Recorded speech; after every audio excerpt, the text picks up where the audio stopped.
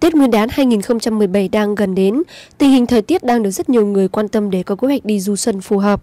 Còn 10 ngày nữa là đến Tết Nguyên đán 2017, người dân đang háo hức mong chờ một tiết trời thuận lợi để đi du xuân cùng gia đình và bạn bè.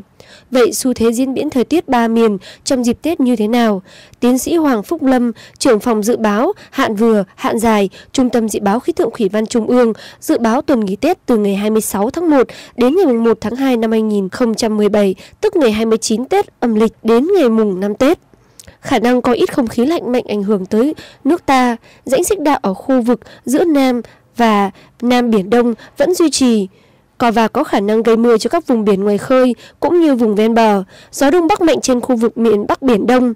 Các tỉnh miền Bắc khả năng có nhiệt độ cao hơn cùng kỳ nhiều năm và hầu như không có khả năng xảy ra mưa trên diện rộng. Lượng mưa tuần phổ biến dưới 10 mm. Thời tiết thuận lợi cho các hoạt động vui chơi giải trí, lễ hội dịp Tết Nguyên đán.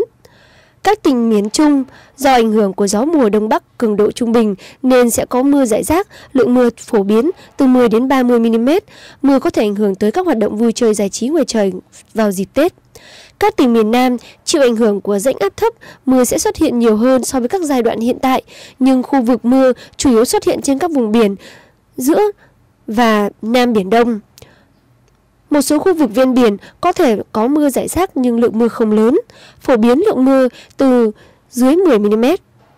Trung tâm có kế hoạch phát tin dự báo thời tiết Tết Nguyên đán Đinh Dậu từ ngày 18 tháng 1, tức ngày 21 tháng Chạp và cập nhật mỗi lần một ngày cho đến ngày cuối cùng kỳ nghỉ Tết Nguyên đán.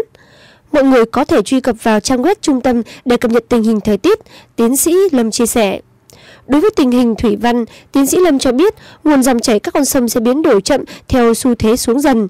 Mực nước tại các trạm Hà Nội sẽ dao động từ 0,5 đến 1,5 mét.